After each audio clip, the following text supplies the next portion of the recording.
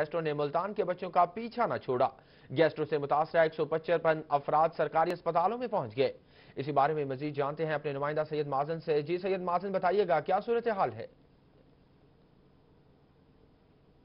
Gastro نے ایک بار پھر جو ہے وہ ملتان کے شہریوں کو ستانا جو ہے وہ شروع کیا ہے، کیونکہ گزشتہ اگر بات کی جائے ایک ہفتے سے تو موسم خاصا بہتر تھا، لیکن گزشتہ دو روز سے جو دھوپ نکل رہی ہے اس کے باعث گرمی کی شدت میں کچھ اضافہ دیکھنے میں آیا کل کے روز میں بھی، تو اس سے حوالے سے جو ہے وہ گیسٹوں کی جو معاملات ہیں، اس میں خاصی جو ہے وہ بڑھتے ہوئے دکھائی دیے ہیں۔ اب اگر بات کی جائے تو ایک سو پچپن افراد جو ہے وہ تین سرکاری جو بڑے اسپتال ہیں، ان میں اپنا پیٹ پکڑے گیسٹوں کی شکایت لیے جو ہے وہ پہنچے اگر ان میں بات کی جائے تو ایک سو پچپن افراد میں سے نیشنل اسپتال میں پچاس، شباز شریف جنرل اسپتال میں پچاس اور سب سے زیادہ چلڈرن کمپلیکس اسپتال میں جو ہے وہ پچپن افراد جو ہے وہ اپنا پیٹ پکڑے گیسٹوں کے مرض میں مبتلا ہو کر پہنچے۔ ہیں اگر اس میں بات کی جائے تو سب سے زیادہ بچے ایک بار پھر سے متاثر ہوئے ہیں۔ اس سے اسی بچے جو ہیں وہ گیسٹوں میں مبتلا ہوئے ہیں، ایک سو پچپن افراد میں سے۔ کیونکہ ابھی بھی اگر ملتان کی بات کی جائے، کہیں کہیں پرائیویٹ سکولز کھلے ہوئے ہیں اور جو مشروبات ہیں مدر صحت، ان کا سلسلہ بھی ابھی کہیں نہ کہیں پہ جاری ہے۔ تو اس حوالے سے ماہرین صحت کا یہی کہنا ہے کہ مضر صحت جو مشروبات ہیں، خاص طور پہ اس سے بچا جائے اور صاف ستھری غذا کا استعمال کیا جائے اور بچوں کا خاص طور پہ خیال رکھا جائے، جو کہ بچے